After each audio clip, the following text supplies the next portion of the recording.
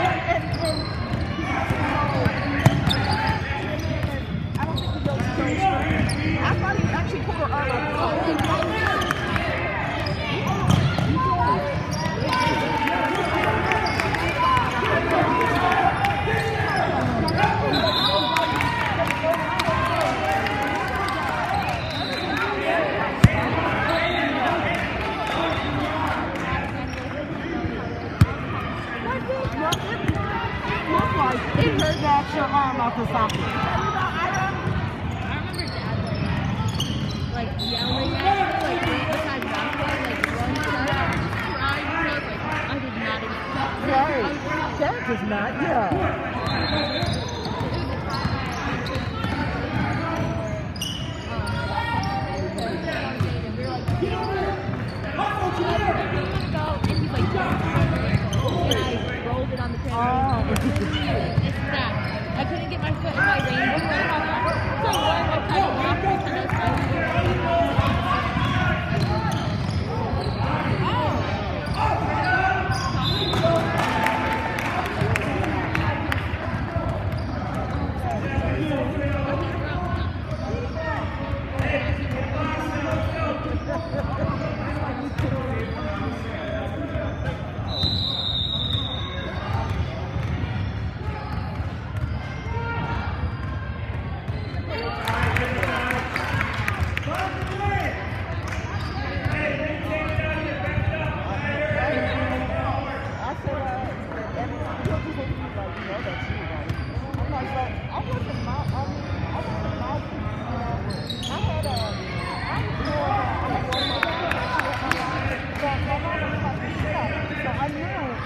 Their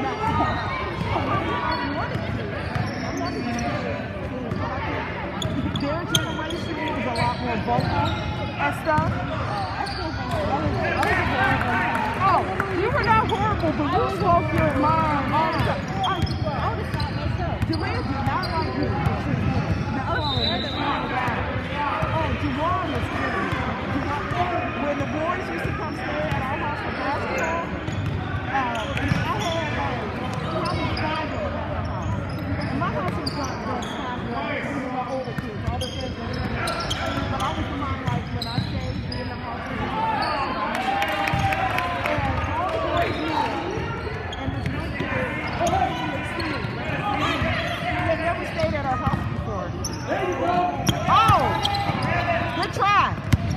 I had said, don't leave off the because they're like, I want to go store it. It was nighttime. And I lived in Chicago, on 40th and Chicago. And so they could walk to Walgreens. You know, but I was like, no, it's late. And y'all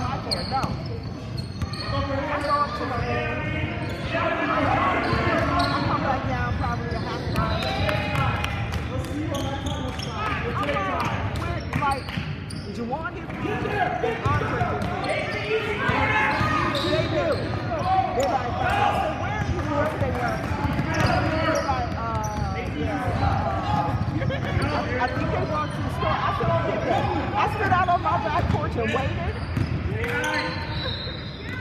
Went and snapped, and Andre was still, him and Joel will talk about that. Like, remember you snapped from Stewie in there? I said, I sure the hell did, because I said, don't leave out my goddamn house.